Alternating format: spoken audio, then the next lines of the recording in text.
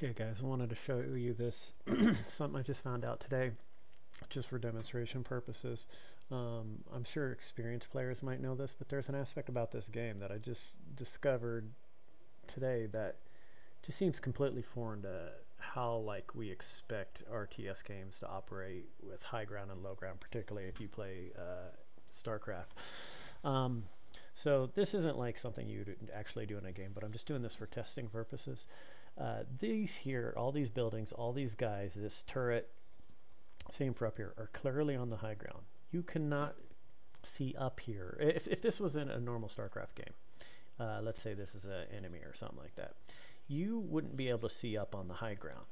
And in this game, you still can't see up on the high ground in a way. But see if I try to get through, it's it's it's blocked. But as soon as you're on the ramp or high up enough, you can then gain vision and then be able to fire.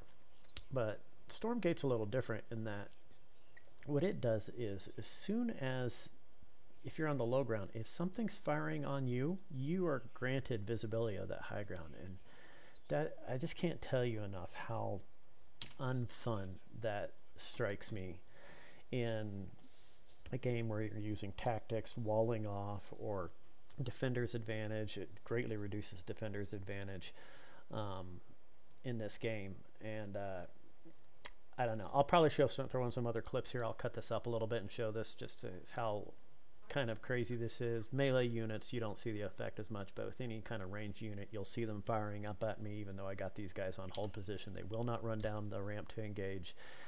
And you're just going to see uh, the units will come here and they'll fire up on this turret and because it's firing down on them they can fire right back at it. So just so bizarre. Here we go. Prime example right here. This shouldn't happen. This this should not be a thing. Um, if you're coming from StarCraft like I said, you're probably thinking, what is up with that? It just seems, uh, it's not just StarCraft. I swear other RTS games handle the high and low ground aspect roughly the same, but Stormgate's doing this differently.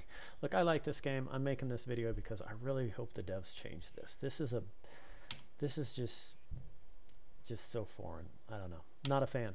Uh, Stormgate, guys, I hope you guys see this. Please change this. This is, should just be like, basically like StarCraft. You want high ground vision, you could get out a ramp or a flying unit or a, or a scout or eating unit with maybe possibly bigger visibility range, something to that effect. But this shouldn't be the way it is right now. Um, it's early on, still in development, games well in uh, early access, so let's hope it gets changed. Just making this video. Thanks.